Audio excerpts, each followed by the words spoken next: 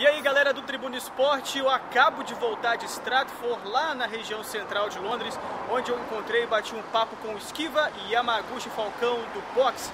Eles aproveitaram para deixar um recado para a família. Pai, te amo. Esse aqui é o sinal da vitória. Beijo todo moreno. Estou aqui dando meu máximo, dando, subindo com o coração em cima do, do ringue e lembrando sempre de vocês. E fique sabendo que eu nunca vou esquecer de vocês, entendeu? Tudo que acontecer aqui, eu acho que vocês estão lendo no coração, entendeu? E quem manda pra vocês, mãe, pai, minha família, beijão, te amo muito.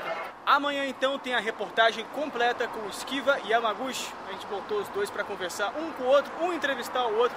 Ficou bem legal, ficou bem divertido. Amanhã você confere a reportagem completa no TE. Tchau para vocês e até a próxima.